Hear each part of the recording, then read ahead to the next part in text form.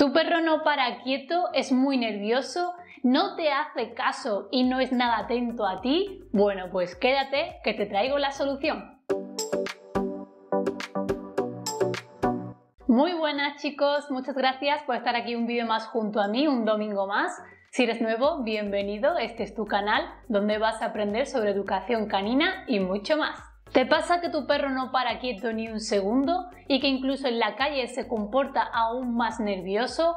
Bueno, pues quiero que sepas que la tranquilidad también se enseña. Existen diferentes trucos o ejercicios que te voy a enseñar para que tu perro sea un perro mucho más calmado, tranquilo y obediente. Y por consiguiente que obtengáis la mejor calidad de vida juntos. Pero antes recordarte que ya tienes disponible en mi página web mis cursos online para aprender a educar a tu perro con mi ayuda personalizada durante el curso. Puedes verlos en www.icanadiestramientocanino.com. Aprovecha que además están a super oferta ahora mismo. Te dejaré el enlace por aquí arriba y abajo en la descripción del vídeo. Que un perro sepa tranquilizarse, gestionar sus emociones y mostrarse tranquilo es esencial para que el perro viva mejor y para que además nos ofrezca una mejor convivencia juntos. Pero como suelo decir, toda la educación canina requiere de dedicación. La magia no existe. Por lo que los ejercicios que te voy a explicar a continuación te aconsejo que los practiques con tu perro aproximadamente 15 minutos al día. Si puedes menos un día, pues menos. Todo suma, pero al menos practica con tu perro. También es ideal que vayas espaciando los ejercicios un día cada uno o incluso un ejercicio a la semana. Esto va a depender de la velocidad de aprendizaje de tu perro. Además de practicar los ejercicios que vamos a ver a continuación, te aconsejo que lleves a cabo una serie de pautas que vamos a ver. La primera sería que no te muestres nervioso si quieres que tu perro sea tranquilo. Es decir, si en tu día a día te dedicas a empujarle, a moverle, a gritarle, incluso a molestarle, a hablar muy fuerte, a mover muy rápido los brazos, todo esto lo que va a hacer de tu perro es que sea un perro nervioso, porque tú mismo se lo estás provocando. Y esto parece una tontería, pero es un básico que muchas veces no nos damos cuenta. Entonces, la primera pauta es que seas tranquilo para que tu perro también se muestre tranquilo. El segundo consejo es que si vamos a reforzar al perro con caricias, que ya os di mi opinión personal y profesional respecto al uso de la caricia como reforzador en el vídeo anterior, que si no lo has visto te aconsejo que vayas a verlo, bueno, pues si vas a utilizar la caricia, te aconsejo que lo hagas de un modo tranquilo. Es decir, que no acaricies como loco todo el cuerpo del perro y haciéndole nervioso. Tiene que ser una caricia muy tranquilita y pausada, lenta, para que el perro pues se mantenga tranquilo, que al final es lo que queremos mantener, lo que queremos reforzar. Y el tercer consejo que diríamos que es el más importante aún es que premies la tranquilidad. Muchas veces me decís que bueno, que cómo voy a premiar al perro si el perro no está haciendo nada. La cosa es que un perro que no esté haciendo nada siempre está haciendo algo. Es decir, si el perro ya está simplemente tranquilo, tumbado, sin supuestamente hacer nada, hay que premiar esa tranquilidad, porque esa conducta tranquila es la que queremos fomentar. Entonces, que se te quite la idea de que se premia cosas que que el perro no, está haciendo, porque no es así. El perro siempre está realizando una conducta y la tranquilidad se premia. Si tú ves a tu perro eso, tumbado tranquilo, en la calle tranquilo, es decir, paseando tranquilamente o haciendo algo correcto que normalmente no haga, porque normalmente si por ejemplo vas a la calle y el perro se pone como una moto tirando y ladrando y hoy resulta que no ha hecho nada, premiale, porque al final es mucho más importante premiar que corregir, siempre lo digo. Entonces habrá que reforzar esas conductas deseadas de tranquilidad. Una vez que lleves a cabo estas tres pautas tan importantes, veremos a continuación los ejercicios a practicar, con el objetivo de enseñar a tu perro a quedarse quieto y tranquilo. El quieto es un ejercicio fundamental en el día a día, con el que además vas a proporcionarle a tu perro ese aprendizaje de quedarse quieto cuando tú lo necesites. Va a aprender a mantener la posición deseada, ya sea sentado, tumbado, de pie, la que tú le digas. En estos ejercicios puedes utilizar el comando quieto, es decir, decirle al perro la palabra quieto. Pero tampoco es algo obligatorio, pues la orden de posición que le vas a indicar a tu perro llevará implícito el hecho de que se quede en esa posición esperando sin moverse hasta que le digas lo contrario. Pero si aún así tú estás más tranquilo diciendo la palabra quieto o porque ya lo has utilizado anteriormente, pues sin problema puedes utilizarla perfectamente. solo que sería así, del siguiente modo. Por ejemplo, si queremos que se siente y se mantenga quieto, sería decirle sit y luego quieto, ¿vale?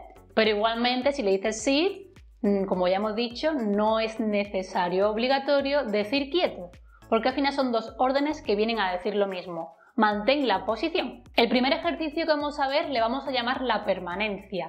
Es el primer ejercicio y el más fácil, que consta de enseñar a tu perro a permanecer en una posición sin que tú te alejes de él. Por lo que lo primero que vamos a practicar es el quieto sin distancias, la permanencia, para luego poco a poco ir practicando la distancia. La permanencia consta de decirle a tu perro que se siente o se tumbe o incluso que se quede de pie sin moverse, la posición que tú quieras, y que no se mueva de ahí hasta que terminemos de contar mentalmente una cifra.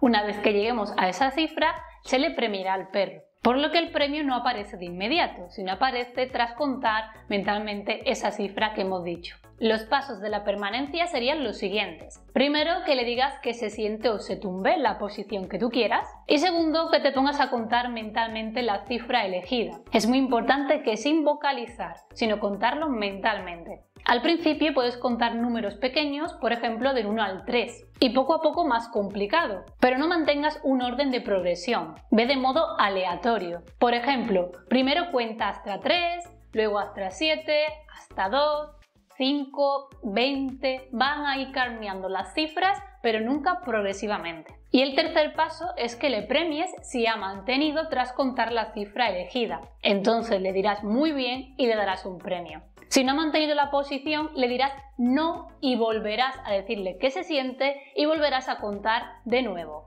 hasta que finalmente hayas podido contar todo y que el perro haya mantenido y le puedas premiar. Sienta.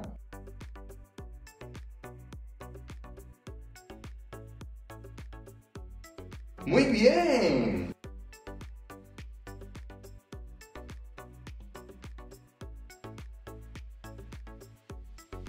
Sienta.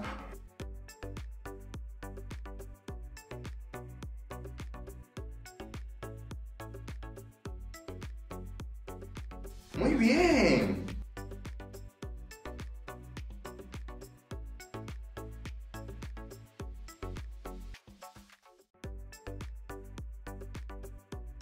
Obi, sienta.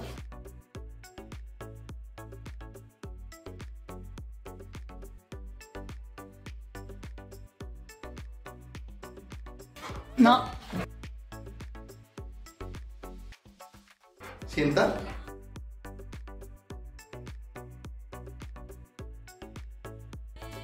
Sienta.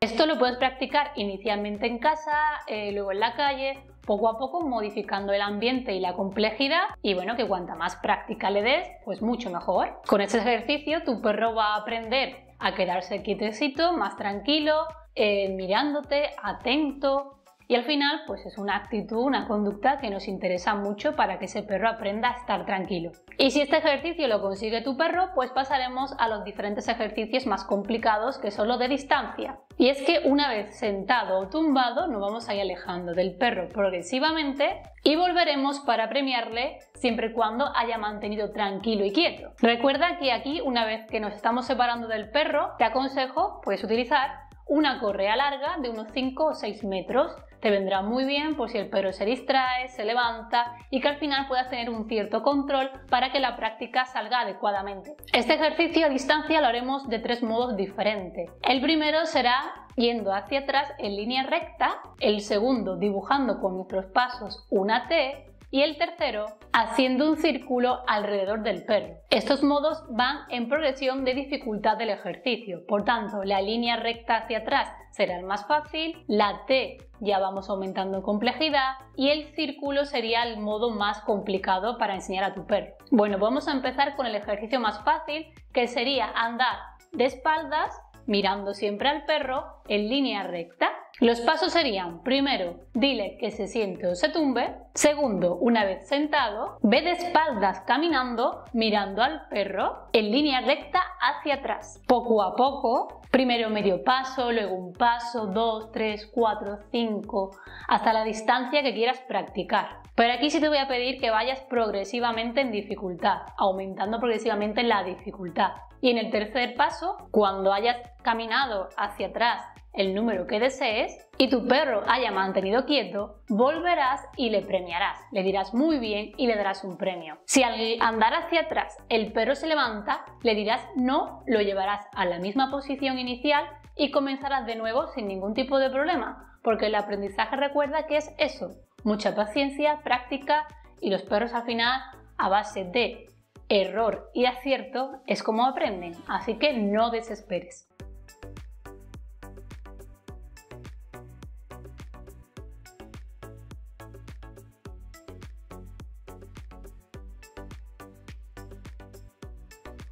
Muy bien.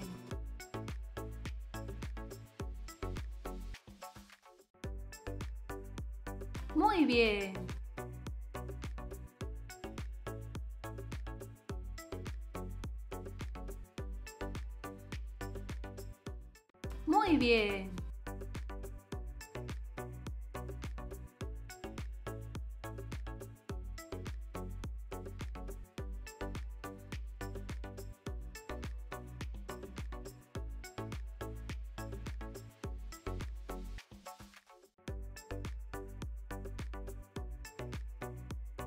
Muy bien. El siguiente modo sería practicar esto haciendo la T con nuestros pasos en el suelo. Es un ejercicio de dificultad ya más elevada porque el perro cuando comenzamos a ir de derecha o de izquierda cree que nos vamos y por tanto le viene esa ansiedad y casi siempre se levantan.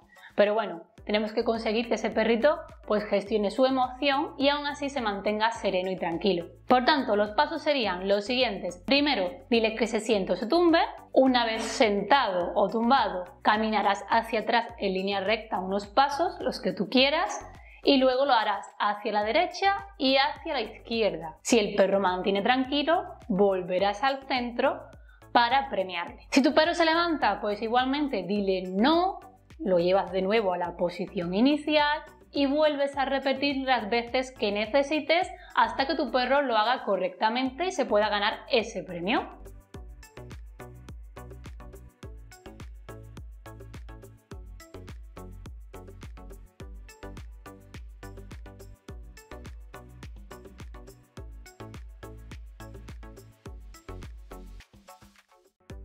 Muy bien.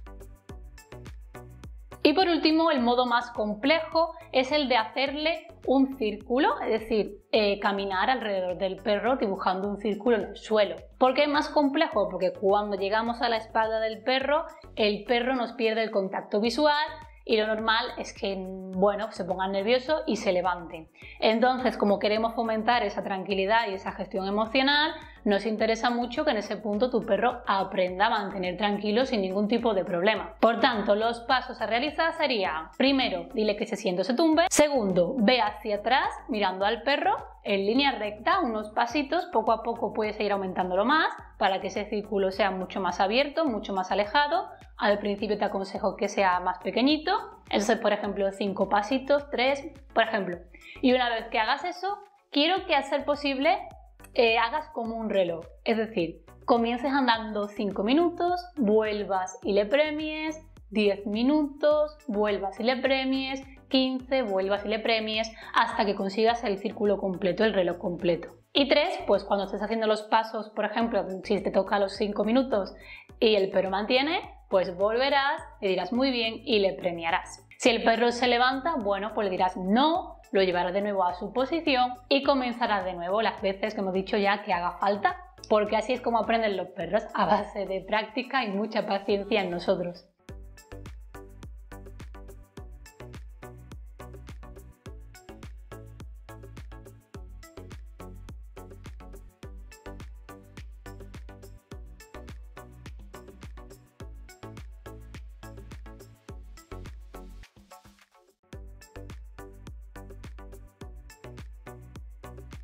Muy bien.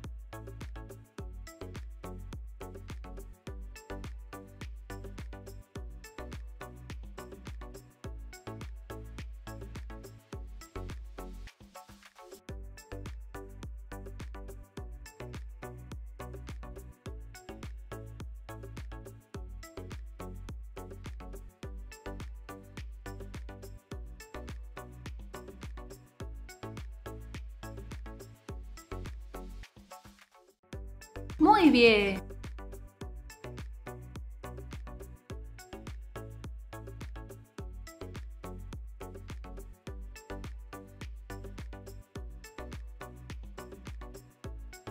Muy bien. Pues ahora os toca practicar. Con estos ejercicios haréis de vuestro perro un perro más tranquilo, obediente y atento. Así que a ponerse las pilas. Si os ha gustado el vídeo, dale a me gusta para que yo lo sepa. Si tenéis alguna duda o comentarios, dejadla por aquí abajito en comentarios y no te olvides de suscribirte al canal para que puedas aprender mucho más. Y nos vemos el próximo domingo. Aquí te espero. ¡Hasta pronto!